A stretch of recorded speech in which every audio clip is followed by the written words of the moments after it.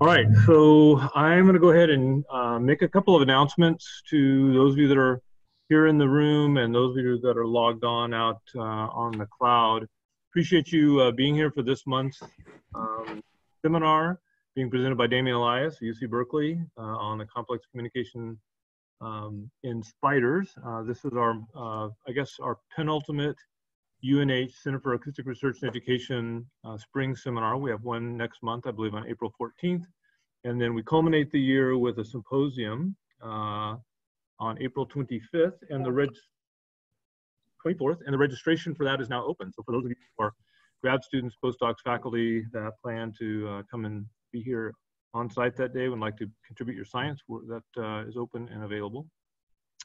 Um, I guess at this point, I'd like to go ahead and introduce Damian. Uh, Damian, appreciate you uh, taking the time out today from the uh, left coast to come and give a talk uh, for us uh, this afternoon, which is still morning for you. Uh, Damian is an associate professor at UC Berkeley. he's been there now for 10 years. He's in the Department of Environmental Science Policy and Management. I first met Damian, I think, I could correct me if I'm wrong, Damian, when we were both PhD students uh, and visiting a lab at the University of Toronto. And that's when I first um, uh, saw the, the work that he was doing with jumping spiders. And, and since that time, um, he's done a tremendous amount of really cool work.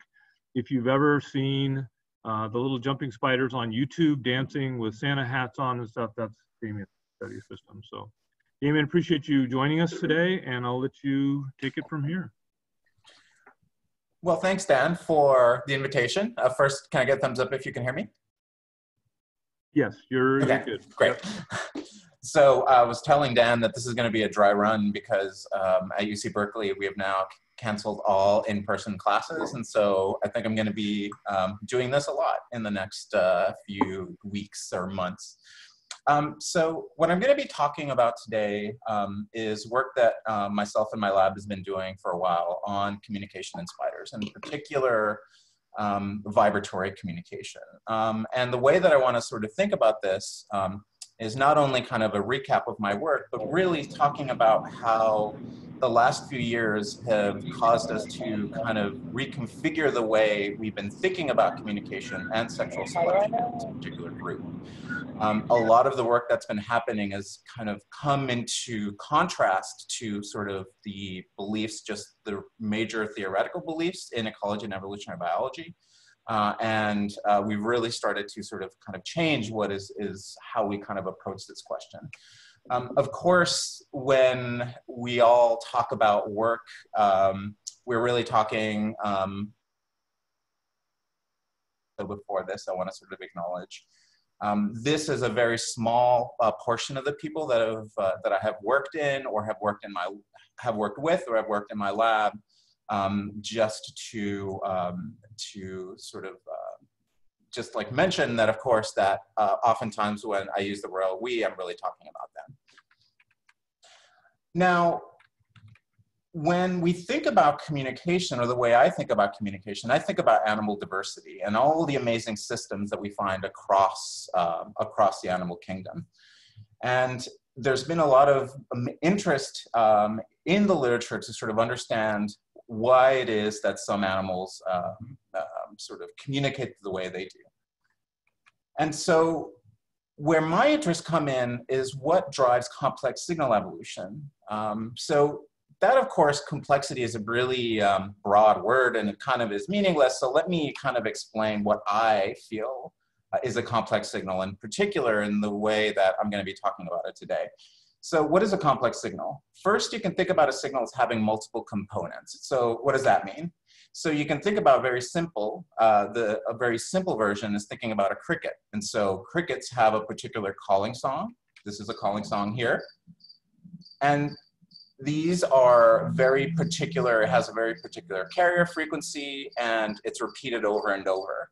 So in general, this signal has, um, a relative to uh, what I'm gonna talking about next, has very few components.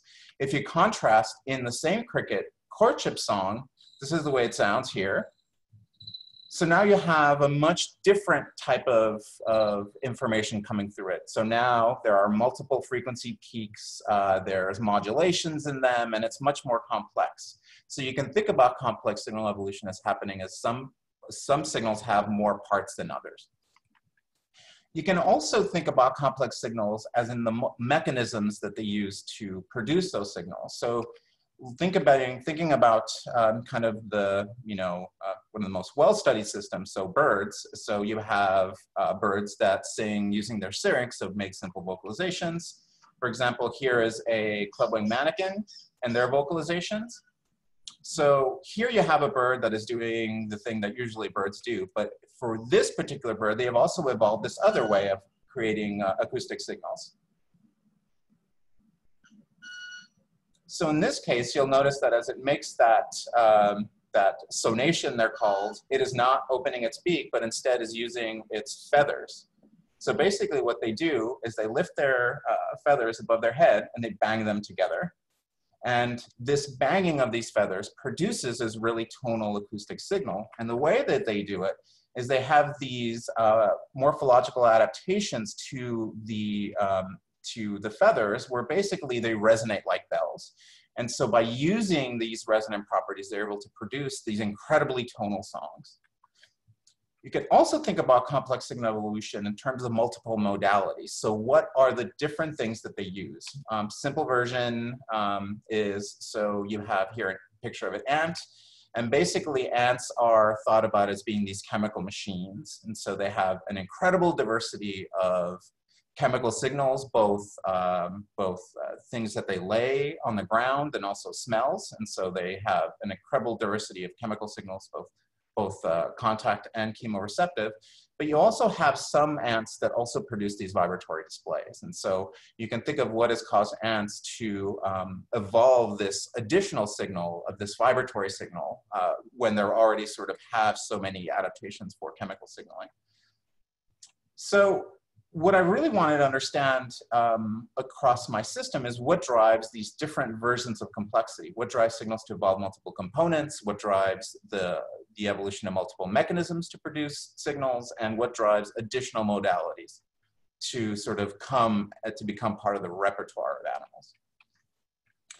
And so, of course, another thing that we want to think about is how this makes sense in terms of complex signal processing. So how do rivals and potential mates evaluate complex signals? And so I always like to use this example because it's very famous and it's incredibly cool. So of course, um, mantis shrimp have this incredible diverse array of visual signals to, um, to sort of evaluate mates and also to fight. But they also, um, you know, so color, obviously, they also have polarization, they're crazy animals, but they also produce acoustic signals. Here you have an example of this low frequency rumble that they produce. Your speakers work. If you have enough bass, you'd be able to hear it. But these particular animals have evolved these multiple ornament patches, multiple versions of polarization signals, and also additionally add these acoustic signals. So why is it that these animals are doing so much? And of course, there's probably chemical signals. So even still, um, with all the animals I've been talking about, we're always kind of uh, assuming we know what's going on. Uh, and oftentimes, because we're viewing these through our human senses, there's going to be stuff that we're missing. Um, another thing, another question I'm really interested in is now that you have this complex signal evolution, how, does it play or how does it play um, a role in species diversification. So here you have uh, sort of famous examples from the African Rift Lakes where, you, where there's evidence that the evolution of visual signals has caused this explosion of diversity. So how, what role does complex signal evolution play in species diversification? Now, I'm going to be talking about jumping spiders, and before I get into my work, I wanted to talk quickly about why jumping spiders are, are a good system to study these things in. First, it's a pretty big group. There's over 6,000 described species. It's the largest spider and arachnid family. And you get anything, um, and you get uh, spiders that, uh, anyway, that look like kind of ants, to things that I guess look like sheep here. Uh, but you have a whole vast array of different shapes and sizes in jumping spiders. They also have really huge diversity in secondary sexual characters. And actually, some of the earliest work on sexual selection in the 1890s, some of the first work coming off of Darwin's work was actually on um, jumping spider displays. Here you will have, um, here is actually one of the ones that I'm gonna talk about. This is from Habronattus, um, at that point known as Haber system. And this has been really a system that people have been thinking about sexual displays in them for a long time. There's also evidence for recent radiation. The idea is that they're basically about the same age as vertebrates, um, or the big diversification happened um, uh, during vertebrates and oftentimes during the last glacial um, ice age. They're common in Baltic amber. They have their origins in Cenozoic. And importantly, they have a highly specialized visual system. And so they have camera type eyes like us, they do not have compound eyes. And they have multiple adaptations that give them an incredibly, an incredible visual uh, sense. So they have tiered retinas that let them sort of get past uh, the chromatic and spherical aberration from their tiny eyes. They also have a telephoto lens. There's color vision in some groups. In Habronattus, they seem to be um, trichromatic, potentially tetrachromatic. And they also, in this video shows, they have movable retinas. And so instead of the, um, the sort of eye or the lenses changing like you normally would, you can see here, um, if you can see here, uh, this cuticle's a little see-through, they actually have muscles that move the retinas around. And so jumping spiders can scan uh, potential, uh, scan the environment of potential mates and competitors. And all of this adds up to them having the best spatial resolution that's higher than any other spider or insect. It's basically about five times better than the best insect eye, so like a dragonfly. And it's only about five times worse than a human eye. And that's really remarkable given that humans have some of the best vision um, in animals known. Here is a human there and also that they're really, really tiny. So they're basically on par with the eyesight of penguins, cats, and elephants, obviously much larger than jumping spiders, which can be incredibly tiny. So they have these really tremendous adaptations for vision. And sort of along with that, you can look at the, the amount of brain space they devote to it. So if you think about this as being a typical spider, um, the way that spider brains work is that the top part has projections from the visual centers in the brain. The bottom part has projections from the um, basically the vibration sensors, the, the legs. And so if you see a typical spider here, you can just see very easily that most of the neural architecture is devoted for the processing of, of, of uh, like mechanosensation. Um, if you look at jumping spiders, on the other hand, this big giant area on the top is the area that is used to process vision. So jumping spiders have really um, evolved incredibly uh, amazing sort of a visual sense. And kind of along with that, they do most jumping spiders' behavior, or at least thought to be predominantly visual. Here you have an example of an old video of a jumping spider dance. And so this is the type of ways that males court females. So on the bottom you have a female and here you have a male and you can see that it has this very complicated dance. So it goes ever upwards and then go, and then so just to show that it's pretty stereotyped, it's gonna go through that same motor pattern again.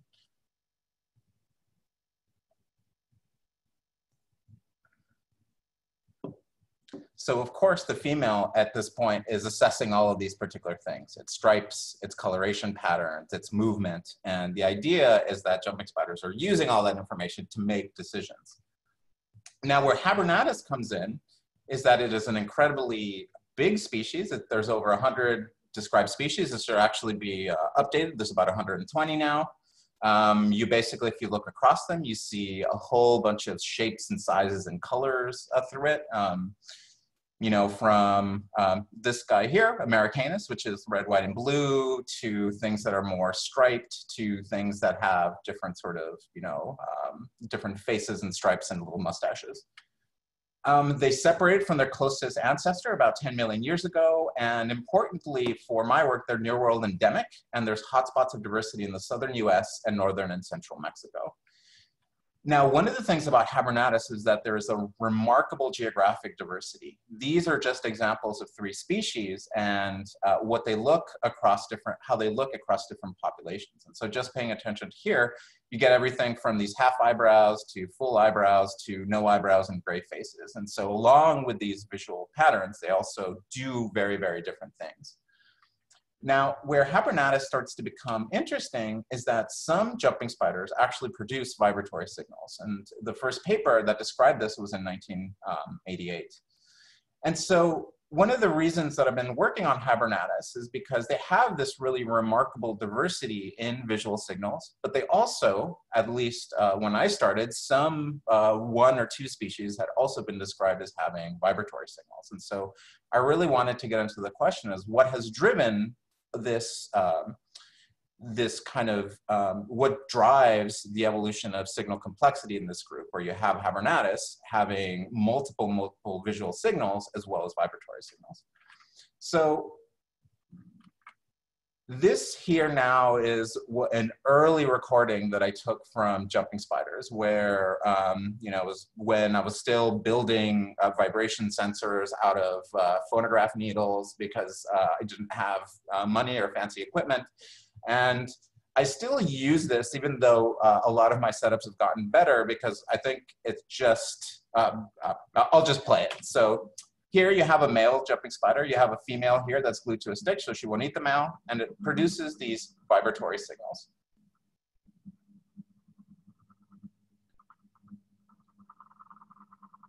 Hopefully you can hear it. so this is its head.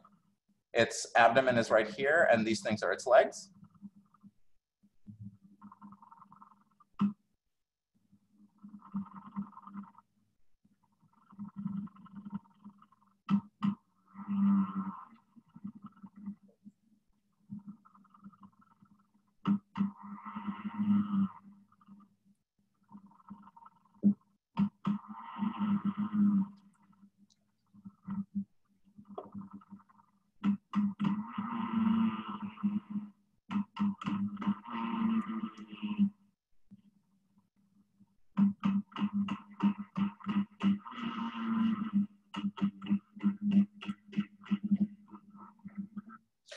So from this early recording was really the first indication to me, and then I think for um, other arachnologists, even people that have been working on this group for a year, even the, uh, the person who first described vibrations as occurring in jumping spiders as an incredible surprise, was this is, was a species that really wasn't supposed to do uh, any sort of vibrations. And so what we started to find out, and what I'm going to be talking about, is that we really did find that across this jumping spider genus, that they really had these multimodal displays, that they had these visual signals that we knew about, but they were coordinating them with these really uh, elaborate vibratory displays. So the first thing I'm going to talk about is, is talking about uh, vibrations across this group and, and discussing the phylogenetic patterns. And so here on the corner, I'm gonna sort of have the, it's kind of the guidebook of what I'm talking about. So here I'm gonna be talking about multimodal, uh, multimodal communication in a phylogenetic context. And so one of the things that we were really interested in asking was basically how complexity between modes was related. How were visual signals and these uh, acoustic vibratory signals, how were they related? And so we had a bunch, of some hypotheses. Some, and our prediction and our assumption was that complexity between modes was going to be negatively related. So basically, if you got complex in the visual modality, you would be simple in the vibratory modality. If you were complex in the vibratory modality, you'd be simple in the vibratory in the in the vibratory modality. And why do we think this? Because Charles, Dar Charles Darwin was one of the folks that first uh, noticed this pattern occurring in birds um, basically found that birds that were highly ornamented tended to have simple songs and um, birds that had really complex songs tended to be not as brightly ornamented. And this has been found in a whole bunch of other groups uh, like uh, cardinal finches and wood warblers but we also had, of course, the other versions that could happen. So you can have complexity between modes being uncorrelated. So the evolution of different uh, modalities would be uh, independent. Uh, this has been found in things like trogons. But then there was the third alternative that complexity between modes is positively could be positively related, potentially for selection for redundancy in signals or selection for more information. This has been found in things like birds of paradise, uh, and also the only uh, group that's been looked at that is not a bird species, it's also been found, uh, there's been some evidence of positive relationship between complexity and wolf spiders. So we went uh, and wanted to quantify this across this large genus. And so what we did was we first quantified the ornaments. And so um, jumping spiders, uh, especially Habronattus, can have a lot of ornamentation. Uh, we especially focused on things that males would show to females. And so, for example, ornaments on the legs, things on the face that they shake to females. And a big thing also with the third leg ornamentation. So the third legs are oftentimes have a whole bunch of different colors and shapes. Uh, here is just an example of some, and just to uh, draw attention to this one here, this is uh, Habronattus californicus. They have these, basically this big triangle with all these kind of dots and colors. And so a lot of these species have a lot of these pretty elaborate ornamentation patterns on the third legs. We also looked at the vibratory signals. So we looked across different species and recorded their songs using a laser vibrometer. Um, and um, this are also pictures of the basically the instruments they use to produce these vibrations and then quantified them. Um, I'll talk a little bit about how we quantified them, but uh, I think it's a little easier to just show you a little compilation video. Here you have um, just a set of the different types of displays that you see.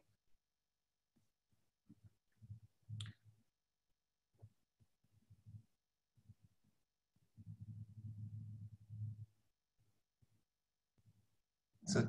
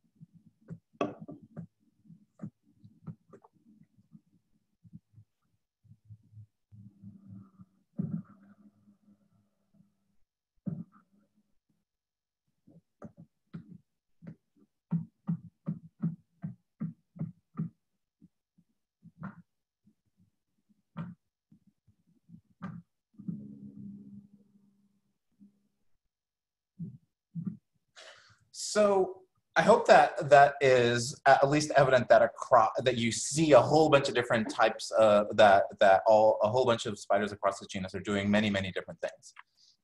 And so what we did is we uh, quantified uh, the ornaments uh, basically based on the number of independent um, the basically the the number of ornaments that they had that were different from females, which are not uh, ornamented, or the spots that were.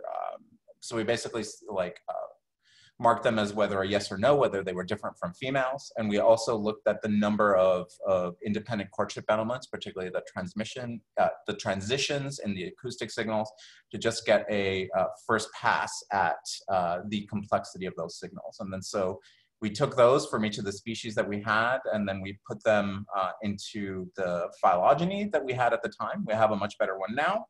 Um, and what we found is that visual and vibratory elements were actually positively correlated. So this is uh, without it corrected for uh, phylogeny. Here you have the miracle of independent contrasts. And what we found is that you had an incredibly strong positive correlation between visual and vibratory elements, such that you had species that were basically doing very little. Uh, they had very simple um, visual ornaments and they had very simple uh, vibratory displays, to species where they were basically doing everything. So they were incredibly ornamented. They had these really elaborate dances, but they also had uh, more vibratory signal, more vibratory signals. And so you found this, this uh, synergistic relationship, this positive relationship between visual and vibratory uh, signals.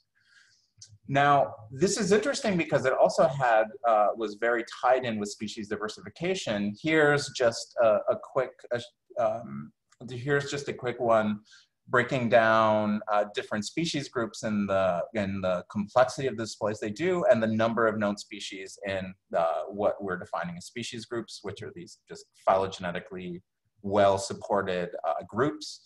And what we found is that there was a positive correlation between the number of displays and the number of species in that group. And this was especially if you thought about it in terms of multimodal displays. And so species that were doing more tended to be more diverse, um, but also species that were having had visual and vibratory signals uh, tended to be the more most diverse groups. Now, what this nice thing that this set up uh, for this group is you can think about Habronattus occurring as, along this uh, complexity con continuum, going from simple to complex. And so you have things here that are simple, where you have some things, but they basically have these motions and it's pretty fast two things that are very complex. Here, um, here's a, a, a, part from a paper where we try to describe songs as basically music compositions, just because that there's these, uh, basically these repeated elements that um, always come together and then they sort of switch them around, off, oftentimes like, um, you know, you have these particular movements and these motifs. Um, and um, they're quite complex. Um, they sometimes last for over an hour. Uh, and what I'm going to talk about um, for the next little bit is our work on one species in particular, Habronattus dossenus, which isn't the most complex group, but it's definitely on the complex edge of this complexity continuum. So, of course, all of this, uh, what we're assuming is these things actually matter, right? So what we wanted to do is do some simple experiments to look whether substrate-borne components are actually important in courtship behavior. And so we did the following experiment. Um, we because all of the signals are actually not produced by the legs, they're actually produced by the abdomen, this gives us the opportunity of being able to not affect the visual display, but completely um, mute them by basically waxing the head to the abdomen and stopping the, the movement of them. Just to kind of show you this, here's a high-speed video with sound of one of the those that hum, that type of thing, and then you'll see the abdomen uh, basically moving in concert with the uh, with the sound pulses that you're hearing. So you can stop that movement by just waxing it to the head.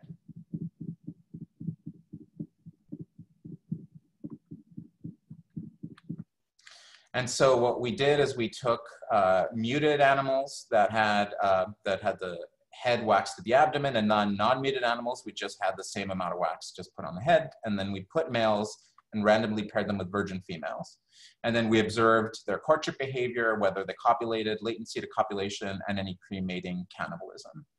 And so what we found, uh, very importantly, this is always to remind uh, to uh, remind me that one of the things that is indicative that is a feature of this group is that in all the species we've studied, females only mate once. And so once they mate, uh, females become incredibly aggressive and will reject all other males. And so these decisions are really important. They only have basically one, uh, as soon as they mate, they will never mate again.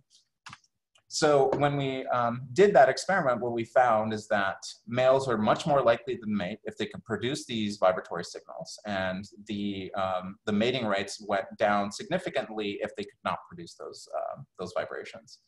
Now you'll notice from this graph that we did still had some uh, males mate that could not produce signals. So if we only look at the males that mated, what we find is that for those males that mated, the ones that could not produce signals took significantly longer to copulate. So basically, producing sound uh, increases the chances that you will mate, and also will make that uh, will have you make mate faster. And of course, because you only get one shot at it, this, these things are important. Finally, another thing that we found is that non-mutant animals are much more likely to uh, much more likely to be cannibal. Non-mutant animals were less likely to be cannibalized, and animals that could not produce vibrations were much more likely to uh, be cannibalized. Just to show you what this looks like, here you have a female, a male is about to mate, and that female decides, no thank you, and then starts chowing down on that male. So spiders tend to be very aggressive, so this does happen quite a bit. Um, so to summarize this mate choice, it does seem that substrate-borne signals are important in mate choice, so they do matter. Muted males are three times less likely to copulate, take longer to copulate, and are more likely to be cannibalized. Um, and so we know that this matters. And so we also found similar patterns in natural habitats. So this is a picture from one of my field sites in Arizona. I, it's very beautiful. I don't look at that most of the time. I look at this. Here is a spider. It's very small. Um, they move around in the environment. Uh, and uh, yes, it's quite a challenge to find them. Um, what we wanted to do is we wanted to look at, um, at least approximate what happens in natural habitats. So what we did um, is we wanted to look at how signals are transmitted across the different surfaces that these spiders are found on. So we went out in the field and we collected, um, anytime that we collected a female in the field, we would collect that female and then also collect the thing that they were standing on. Now, the thing about jumping spiders is that they actually move around quite a bit. So across their environment, they're never in one spot and they're constantly moving. Uh, and for this study, we found that they were in three major um, substrates. We found them a lot on rocks, we found them on sand, and we found them on, uh, on leaf litter. And so what we did here, these are transfer functions for these uh, th uh, three different substrates. The individual lines are individual uh, samples, like individual rocks or individual patches of sand or leaf litter, and then the dark lines are the averages around them. Now, of course, these are transfer functions, so if you had perfect transmission, you would get a straight line at zero, and then so anything below means that it's attenuated, and then the shapes mean um, some type of differential filtering. Now, I think the first thing that is evident is that each of these different substrates have a very different shape to it. So the vibrations that they produce would potentially be incredibly, would sound, in quotes, very, very different on these different um, surfaces. Now, importantly, if we map onto it the signals that males are particularly producing, um, here you have those, your prediction would be that females would only accept males on leaf litter and not on sand or rocks. And that is because um, these really fit in well with leaf litter, which is a pretty nice substrate for flat. It has a pretty flat transmission spectrum. Sand is not very great. It's pretty poor at the low frequencies, a little better at higher frequencies. Rocks are pretty bad all the way around, even though there's a little bit of a peak in, in the lower frequencies. And so what we did is we took um, males and females and paired them on these three different substrates and made sure that um, all their interactions were just on those particular substrates. And when we did that, what we found was that females were much more likely to mate with males when they were on leaf litter substrates and not the other ones, even though we collected on them, we collected females on them uh, with a pretty high proportion. Interestingly, in um, recent work that we've been doing, where we've been uh, doing um, some censuses on them, we actually find females more likely to be on rocks than on leaf litter. So there's this interesting sort of uh, pattern uh, going on there. So definitely, um, they, their communication strategies seem to be built for leaf litter environments. Now, one of the things about it that becomes very interesting is there's actually many sympatric species in this group, and let's assume that I'm not crazy and Habronattus dossenus leaf, uh, Habronattus courtship is, is, is kind of tuned to these leaf, leaf litter microhabitats. There are some that are really only found on kind of pebble barrens. Um, here you have this one. Um, this is Habronattus ustulatus. And the thing you've noticed is that they really only signal at the lower frequencies, which would really be, um, I mean, rocks are pretty poor uh, transmission, uh, transmit them pretty poorly, but if you wanted to pick any sort of frequency range, uh, it would be at the lower frequencies. On the sand one, here's a species here that are found along uh, sandy, sandy banks. And so what they do is they have really high-pitched broadband signals. And so that would make sense if you want to sort of signal um, on sand habitats. So what this, and then kind of to make things more complex, you have some species that don't do ever anything at all. They don't have vibrations and instead only do visual signals. So what we propose is that one of the reasons that you can find so many sympatric species in some habitats you can find about you know up to 10 sympatric species all basically on top of each other is that different species are specializing in different uh, signaling microhabitats. Now again, I think importantly they're actually all interacting, but their mating could be potentially be tuned uh, to particular uh, uh environments. Now, this still leads to the question as to what is happening with females. What are they actually doing? Are they actually assessing these substrate-borne signals? What's going on? And this kind of leads to things that are kind of currently in the works. Um, and there's a lot more left to do on this, but I'm just going to talk about it really quickly. Basically, the paradigm for this is we paired random virgin females and males. We did a whole bunch of them and we measured a whole bunch of stuff about their visual signals, about their multimodal signals, and a bunch of morphological stuff. And so I'm going to be concentrating on the vibratory parts of this, the, the acoustic parts of it, and um, just giving you some sort of quick things about what's, what we've been finding. So importantly for this group, it's pretty complex. You can break them up into different spots that we call motifs. And so you have particular signals that are given together, um, and then you have other signals that are given together. Um, and so it's just complex, but if you look at the patterns of mate choice in a, uh, in a correlation network, you get this giant, um, giant uh, web of different, um, of, of different traits. Now, the details of this aren't important, um, but know that each of these different shapes are particular variables that we mentioned, and the lines represent the correlations between them. And so what we find, if you look across it, is that you can find these particular aspects that are, these particular nodes or these particular groups that are all correlated together. And so if we look up here, we find a module that is the scrape motif that has a lot to do with how much they're doing it, so effort. The second one here uh, is that buzz, uh, the one that ahead one, and those seem to be uh, grouped together. How much effort do you put into that? You had another aspect that was basically all the amplitudes together, and you had this node here that was basically all the frequency elements together. Now, if you, if you color this by what females are choosing upon, what you find is that they really um, are, seem to be uh, choosing males that are producing signals at higher amplitude and at, uh, at higher peak frequencies and broader bandwidths just to kind of show you individually what's happening at each of these different nodes. Uh, here is a, um, here's just one example from this one particular trait where your, your uh, mating rates go up as they get louder. Here you have the P frequency, and when you find similar type of thing, this is for bandwidth, um, that how males with higher bandwidth um, seem to be have higher mate choice. Now, there's a lot of things that still need to be done with it, and particular things about the sequencing, but at least this uh, is suggestive that females actually do care about particular properties of the acoustics. We have been done experiments in the past trying to see like what those particular signals could mean. And so we recorded a bunch of signals and then looked at whether they correlate with something that a female might care about.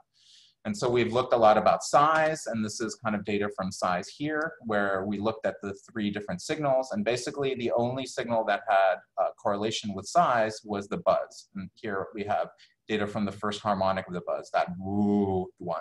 So what we think is happening with the buzz is that males are signaling to females that they're larger. We've also looked at a bunch of stuff, including health. Uh, we've used parasite load as an index of health. This is what parasites on jumping spiders look like. They have oftentimes these blood-sucking mites um, that uh, find kind of the soft bits of cuticle, oftentimes the joints, and they um, kind of infest them. And if we look at the signals and look at the uh, amplitudes of them, what we find is that the thumps um, don't have any relationship with them. The buzzes do not, but the scrapes, the ones that went like those, have a pretty strong relationship between the amplitude and the parasite load. So we think that when they're scraping, uh, males might be um, informing females or providing information about their parasite load. All of this, um, we don't know what's happening with the health, but what all of this suggests to us is that um, different vibratory signals are potentially telling females different things about males. Now, importantly, what I showed you before is that all the amplitude signals kind of tend to lump together. So it might be that females, by looking for the louder ones, are basically picking the ones that are larger and healthier. And so there's still a lot left to disentangle there, especially, um, you know, when you have more traits that you, than um, when you have as many variables as we're going to, that gets uh, kind of statistically hairy. Now, sort of to summarize this part, um, Habronattus jumping spiders have evolved vibratory signals. Um, the complexity of the multimodal signal seems to be positively correlated. And there's evidence that the evolution of multimodal signals is correlated with species diversification. And they, this is something I didn't talk about, but they've been the evolution of numerous mechanisms to produce different vibratory signals. And that vibratory signals, uh, there's good evidence that they're important in mate choice and that spectral and amplitude traits are especially important.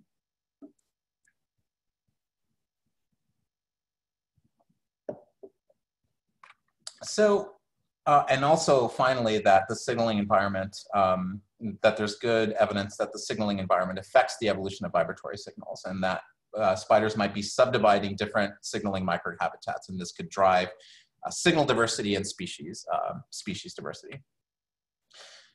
Now, this is all great um, and this is kind of um, where we sort of um, came in in the last new year, uh, in the last few years, and this is work that my student uh, or my ex-student, who's now at the University of Western Ontario, Erin Brandt, has been doing. And she wanted to do similar things that I talked about in this one species here, Habronattus clypeatus. And so she went to Arizona. This is a kind of a pretty hot desert species. Um, and she set it up like the dossenus experiments that we were talking about. And then found out that basically um, four of 30 made it in the lab.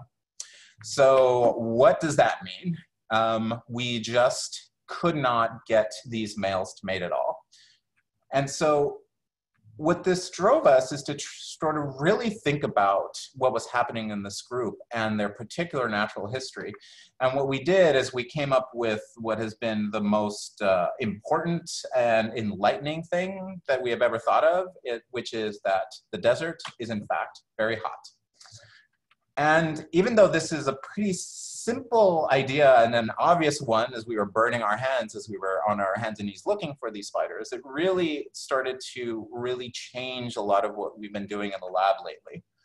And so this is data um, that shows uh, temperature changes uh, over the breeding season of spiders. Um, and this mark here is where we were doing our experiments at. So basically, um, we were doing experiments in the lab at temperatures that were much lower than the spiders uh, naturally experienced in the field.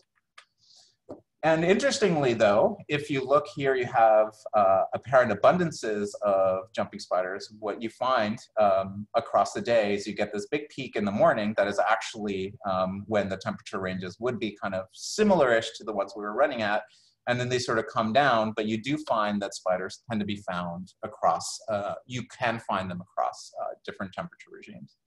So what Erin did is she split, um, basically decided to run the experiment again, but to have these three different categories that were based on the temperatures that spiders actually found in the field.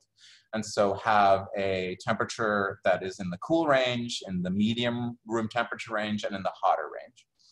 And the way that she did this experiment was very simple, is we took a hot plate and we could either heat it up and then put spiders on it, or we can cool it down and then put the spiders on it.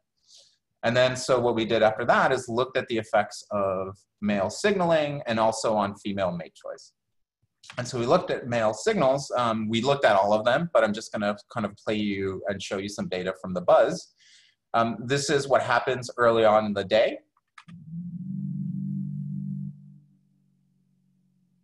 The same animal, if you put it at a medium temperature range, about 25 to 27, uh, this is what they sound like. Now, if you take that same animal again and you put it in, in the hot temperature range, this is what it sounds like. So this isn't surprising, right? So we know from arthropods that uh, temperature has really strong effects on, on, on kind of the rate of, of signaling. And so this wasn't necessarily, um, necessarily uh, surprising, um, but then we put those males and females together at those different temperatures, and then we wanted to see what they would do. If this would be in crickets, you would find male crickets getting faster as the uh, temperature was raising, but females would prefer those faster temperatures, and so they would be, uh, female preference patterns would change depending on temperature. But what we found was not that. And basically what we saw is that female mate choice was very, very different at different temperatures.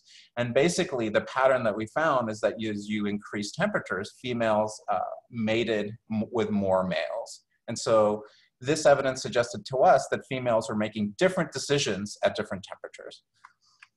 And so this is, and so we also wanted to find out um, whether, where uh, individuals would care about. So what we did is we um, made this arena where we actually made a thermal gradient and then we put different um, spiders in there and basically asked them uh, where they like to hang out in.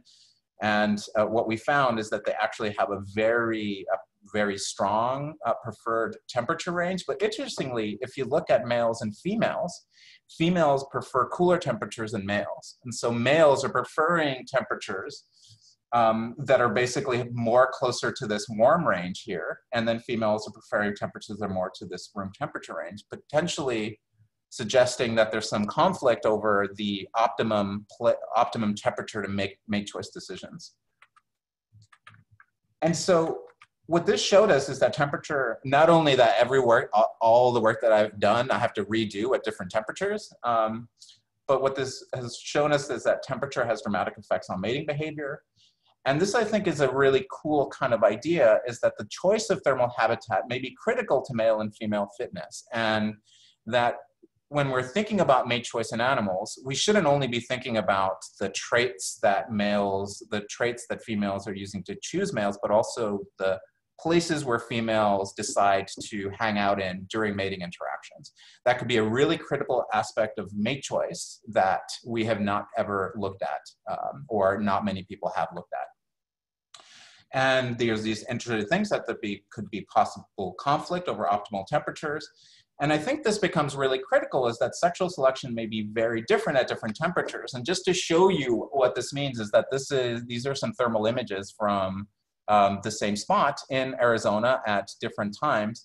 And what you find first is that, um, that the temperature differences between different substrates change really dramatically across the day. And so if we look at it here, a spider can easily jump from this blue area here to this red area here. And we're talking about differences basically be between about 30 degrees Celsius. You get a huge jumps and huge differences um, as animals are moving through this environment. And so like these things are gonna be really important and that the sexual selection and the rules governing choice are gonna be very different here and you make a few hops over here and then every, the rules are incredibly, are gonna change uh, even more. And also I'd like to notice like how hot these temperatures can get here. You're talking about temperatures up to 71 degrees Celsius. The, these spiders are facing an incredible, uh, like incredible temperatures by being these small ground dwelling um, arthropods. Now, we've been thinking a lot about how temperature affects sexual selection. I'm going to talk about quickly about work from my postdoc now, Malcolm Rosenthal. Um, he's been working on a, not jumping spiders, but wasp spiders. This is what they sound like here also do vibratory displays. And I'm not gonna talk, uh, I wanna go through this quickly, but um, they have three different types of signals. And um, they're found in Florida. Their breeding season temperatures uh, ranges between about 2 degrees C to 30 degrees C. Um, here's uh, real world data. And so what we wanted to do was examine what happens in, with mating across a, um, behaviorally relevant temperature range. So we did it between 12 degrees and 40 degrees C. And what we did is we took an incubator and then we used a laser vibrometer and shine um, and shine like through it by bouncing a mirror onto an arena. And then we could run these experiments at controlled temperatures. So we did 156 courtship pairings across different temperatures and um, we found that basically we did a principal components analysis. This isn't going to matter so much, but basically courtship was described in three principal components. One that was basically the entire display, so how much they did all the things. Um, one, the second principal component was particular with one uh, of these signals, these abdominal chirps. And then the third one was the duration of these little bits. So one of them was basically an overall measure. The second one was, uh, was the particular um, aspects of one of these little bouts, and the other one was how long these, uh, these happen. Not really important, but what is important is that if we look at how each of these different principal components are affected by temperature, you find really different patterns. And what we found is this. So these are heat maps. Um, so you have temperature on this axis here. You have values of the principal components on the y-axis, and it's color-coded by mating rate. So, so blue values are that females were not mating at those. Red values uh, mean that uh, females are more likely to mate. Now, just to quickly just uh, show you like what we're thinking about this, let's look at this first principal component. So the way you can think about it is you can take a slice across this temperature and then you can see how different values of those traits would be affected. So for PC1 here, if you take this line here, you would get a pattern like this. So as temperature increases, your traits go up and the, and the, um, the their fitness goes up more because their fitness goes up at the same time because they're going to be more likely to mate at those. And so if you look at those, what you find is that the patterns are generally the same. They're both uh, increased with temperature.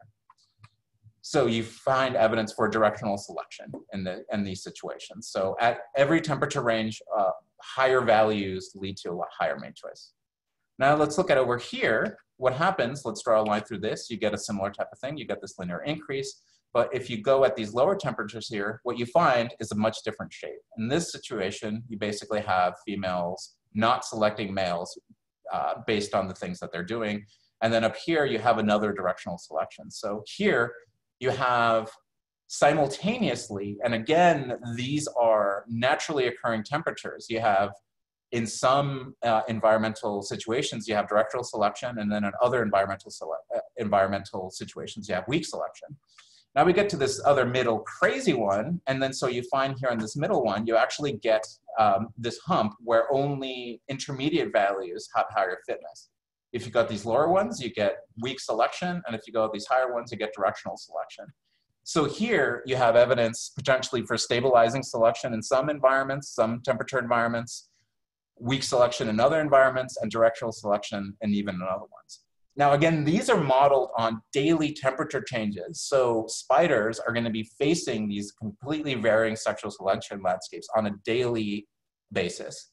And so we really don't have, we really have not been thinking about uh, mate choice occurring in uh, these type of situations.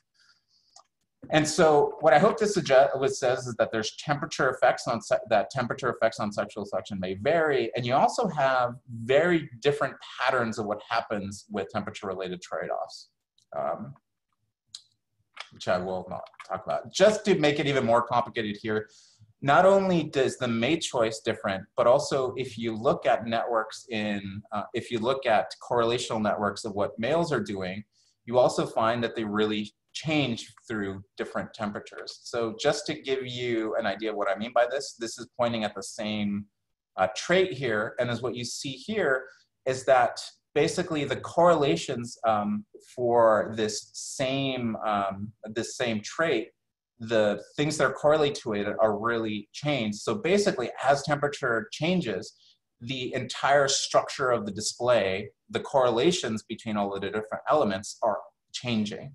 And so female sexual selection is different at different temperatures and male songs are different at different temperatures.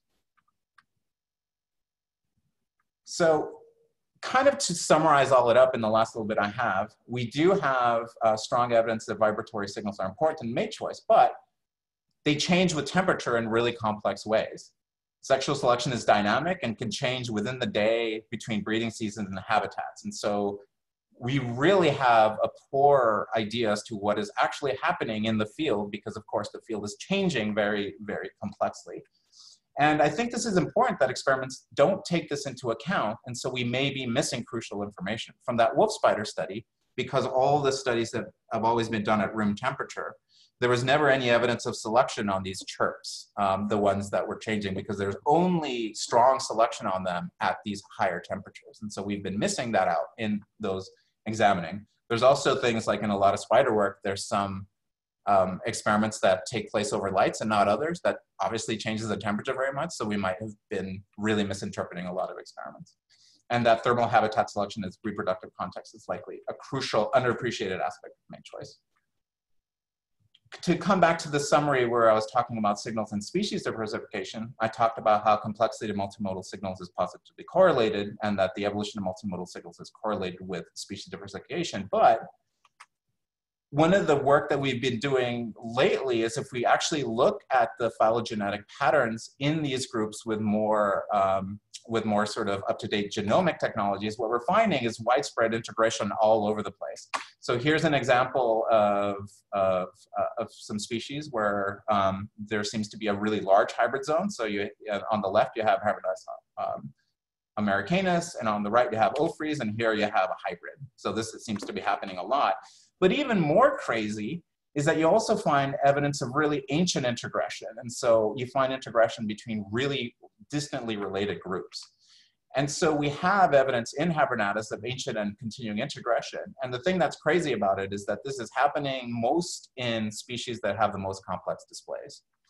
So basically, I've been thinking about this as this nice little frame my entire career where you have uh, evolution of multi-component and multimodal signals driving species diversification, that it matters for mate choice, and that sensory drive is going to be occurring. But what rightly is happening lately is that all of these things are essentially wrong. And then we've been really trying to sort of expand our thinking and trying to uh, really understand what's going on in these groups. So we're trying to reframe it by realigning lab experiments with real ecological conditions and include ecological variation, whether it's seasonal variation or even daily um, variation in, um, in ecological conditions, particularly with temperature, of course. Um, we've also been thinking about what this means to segmental evolution if shift, if uh, selective landscape shift. There has been a lot of thoughts on how um, this isn't necessarily a new idea. There's been some work on spiders and on birds about what happens with shifting selective landscapes. But I think what our work is really um, enlightening in is that this can happen on a daily basis and doesn't have to happen uh, yearly. We're also trying to rethink what this means in terms uh, what how we can think about signal and species evolution in the light of widespread genetic introgression and hybridization. So we're trying to do all these things. We have some works looking at thermal ecology and sexual selection and how things move and habitat selection.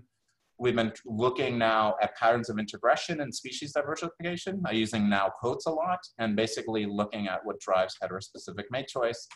And because I'm crazy, we're also trying to look at this in other systems. And so that, um, to sort of on time, um, I will kind of skip um, the sort of the thing, uh, just a little thing I was going to talk about peacock spider videos. Um, besides showing this, they do a lot of really cool stuff. Um, and um, end it here and thank you for um, your attention. All right. Thank you, Damian. I'm unmute now, yeah. So appreciate the talk. Um, we probably only have time for maybe just a question or two, but for those of you that are out, um, yeah, let's see. Those of you that are out there um, uh, following the, oops, what happened here? I guess. Now. Um, yeah, apologies for this. oh, oh, no, that's okay. I was. I didn't say, go over. Uh, there you are. Yeah, I wanted to mention that um, if those of you that are monitoring the um, seminar remotely can chat in and tell us how many are in your groups. Um, yeah, yeah, yeah. So um,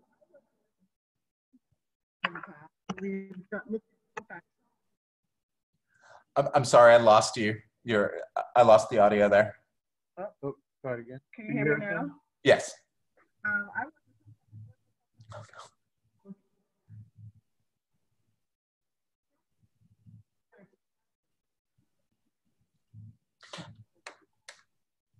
I think what's happening is that the the laptop is not pointed to you and it's too I'm directional. right next to it.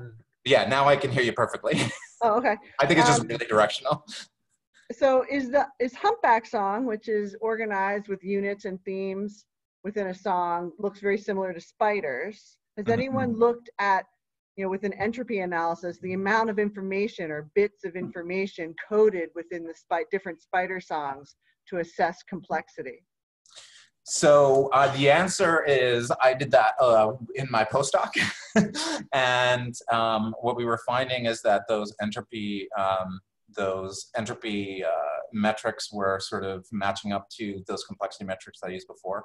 One of the things that I really have been pushing to do, because that work is still unpublished, is to quantify the different acoustic and visual ones using different complexity metrics like entropy, like mutual information, like all of these things, to be able to ask uh, some more sophisticated uh, quantitative um, uh, questions about how um, information could be related between different modes.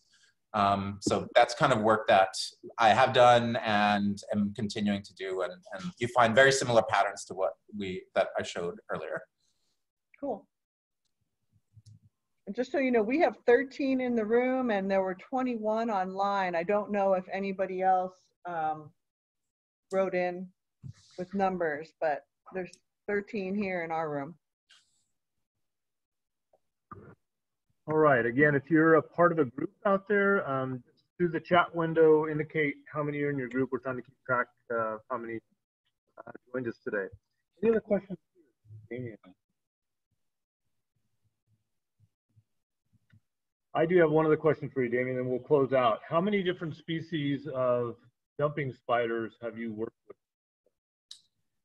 Uh, I think that it's going to explode this. Uh, it's going to explode this um, this year. So I guess the big question is is uh, so in terms of just recording their displays, I think I'm up to 90 species in terms of particular behavioral experiments on groups. Um, after this year, I'll be up to eight different species. Um, and these are ones where we have like tons of species looking at mate choice patterns. But um, yeah, we, we just did a, a big trip through uh, Baja where we collected a bunch of new species and found some new ones. And then we're trying to do what, a, sh a short one in Mexico. Because one of the interesting things is that, so I talked about this, the, the huge diversity of this group, but from all indications, the majority of the diversity is probably found in Mexico, and we have not uh, collected there really. There's been two collection trips through there, and so uh, and there's a lot of like endemic things, and so like we're really only um, starting to really understand just how big this these groups are. All right, very good. Thank you, Damian. Giving a virtual clap, clap. Um, we appreciate uh, appreciate you sharing your science with us and uh, invite everybody back next month on April 14th uh, to join us in our next month of UNH CARE Acoustics. All right, thank you, Damian. Great, thank you all. Good luck right. yes, good luck to all of you. Stay healthy. Thank you, Damian. We'll talk to you again soon. Bye-bye.